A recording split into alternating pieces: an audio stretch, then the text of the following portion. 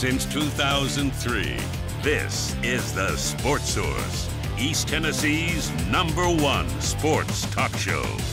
Presented by Junk Be Gone. Phoenix Conversions. With your host, John Pennington. The Sports Source starts now. Good Sunday morning and welcome into the Sports Source. We appreciate you being with us. Uh, you know, for 17 years I've said thanks for joining us, but certainly in these crazy times, um, we do appreciate you tuning in. We appreciate you supporting our sponsors, and hopefully we can provide you with a little bit of a, a break from the uh, the stuff you normally see coming out of your television these these last few weeks. Uh, we have a uh, packed show today. Let me go ahead and show you what we got coming up. We're going to talk about uh, what the SEC and other conference commissioners are saying about football plans.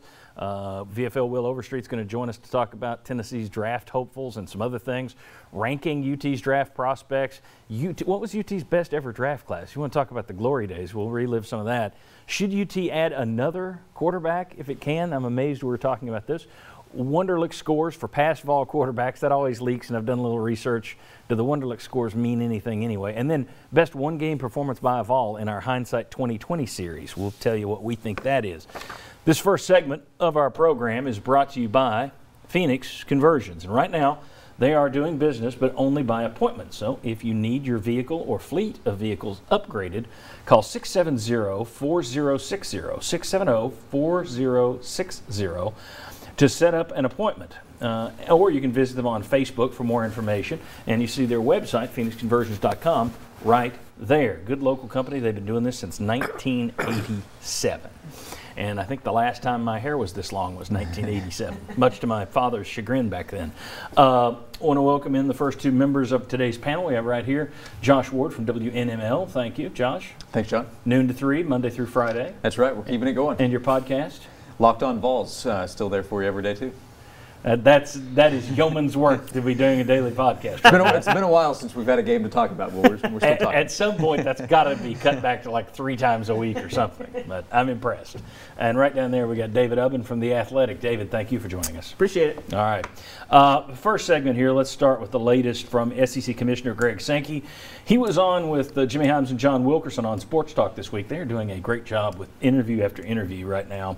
Um, but I wanted to talk about what he had to say about the SEC's plans. And uh, he's being both honest and vague, which I think is honest at the moment. But let's go ahead and show you what he had to say about timelines. The beauty of April 17th is I don't have to answer that question right now. I think one of the great learning experiences that I've enjoyed, if there's such a thing as enjoying the last 30 days, is how much we've learned over that period of time. As we've talked to researchers and physicians, their encouragement has been that we've learned a lot, we will learn a lot, and we should wait to make major decisions. I've avoided the hypotheticals and tried to prepare for what's in front of me right now. Okay, he danced around the question. So, another thing I thought was interesting, though, he was talking about, well, well let me read the quote. If you look back when we were deciding how to approach basketball tournaments, each of those decisions was an independent decision by a conference. You saw the Ivy League make a decision on a Tuesday we made a decision to cancel our event based on new information on Thursday morning. There's probably a lesson or example in the fact that we are independent entities. Part of that, part of what's now happened since that time is there's a lot of conversation, certainly among the autonomy conferences, basically the Power Five, uh, that the preference preference would be to go down a road together. The NCAA has a football oversight committee. They have others in, that are thinking about this. Now, if there's one small niche that's inactive, but perhaps the Southeastern Conference and others are able to function. That's one of those hypotheticals we don't have to answer right now, but you'd think there'd be a bit of room in that decision making.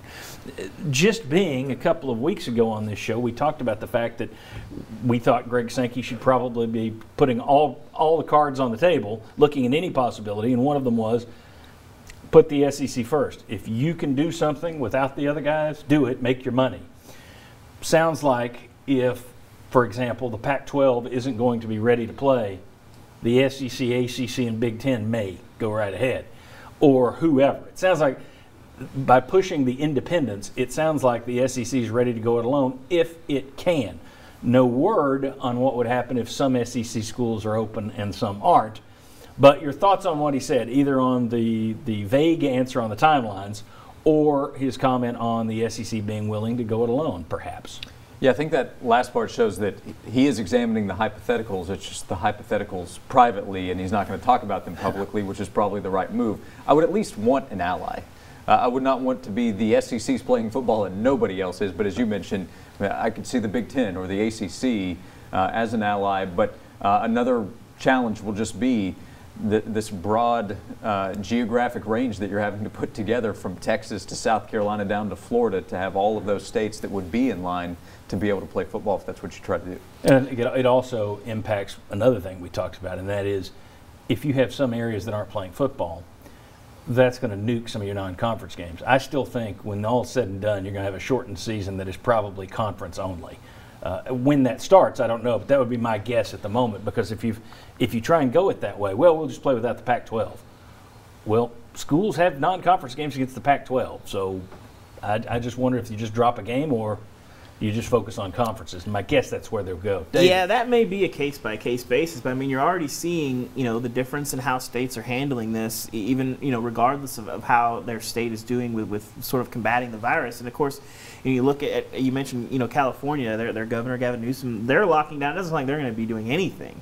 And so for the end of the year. Yeah, yes. the end of no the year. And so you're going to have to, yeah. you're going to have to sort of sit and, and figure that out state by state. Um, I definitely think it is possible, but uh, to, to play every, every, you know, play just your conference games, and then your non-conference maybe a case-by-case basis, you know, based on each school, because those games are kind of independent and don't really uh, impact the SEC.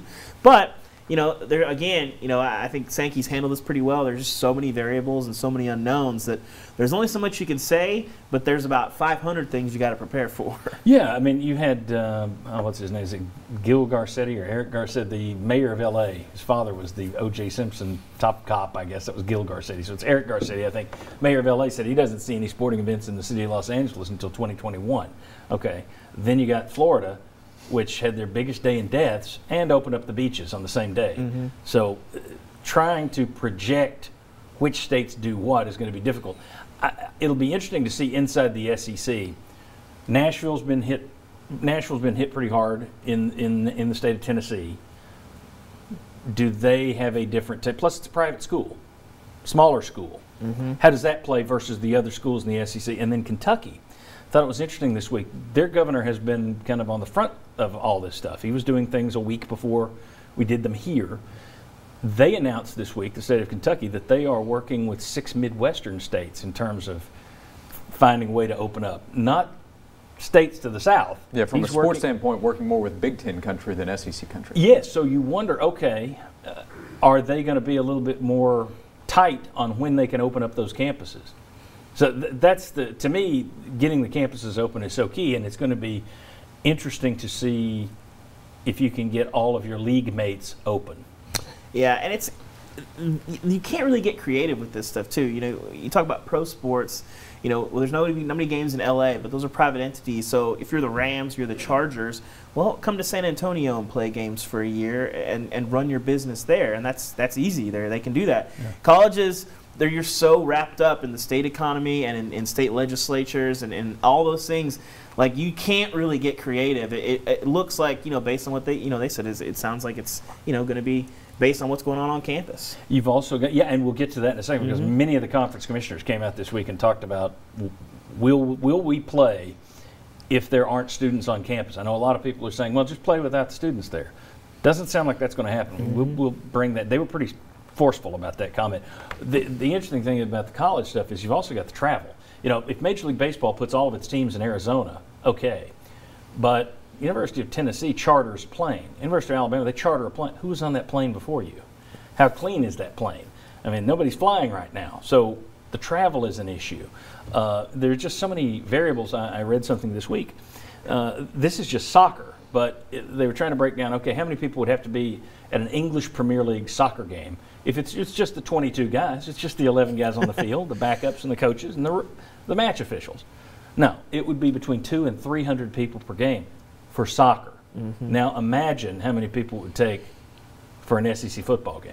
So it's, I think they'll jump through all the hoops. I don't think there's any doubt it's coming back at some point. I think once the dominoes start falling, we'll go hoops and dominoes. Once the dominoes start falling, I think it'll start to go fast. But there are going to be a lot of dominoes to fall before you get it back. But and it still starts with the pro leagues, right? Yeah. Uh, and and the PGA Tour is going to try to come back in June uh, without news. spectators. Uh, that is good news. It, it is a more socially distanced sport, which helps. Uh, you still have travel included, but um, you're right. I mean, it, there are the the hypotheticals, the variables, and the layers. From we can have the the political conversation from governors, city, county mayors, uh, and then presidents, and so we can talk about what conference commissioners say, but what do presidents of the universities within the conferences say? That's a, a huge part of this conversation as well. Oh, when it comes to the University of Tennessee, you've got, I mean, it's in Knoxville, it's in mm-hmm. Knox County, it's in the state of Tennessee.